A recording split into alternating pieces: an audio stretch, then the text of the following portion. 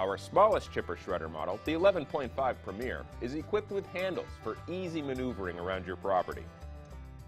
It will chip branches up to two and a half inches thick and shred yard and garden waste of a quarter inch or less.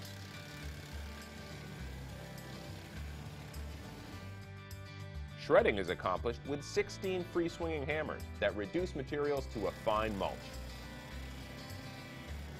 The Premier is great for garden work and use on smaller properties where towing isn't required.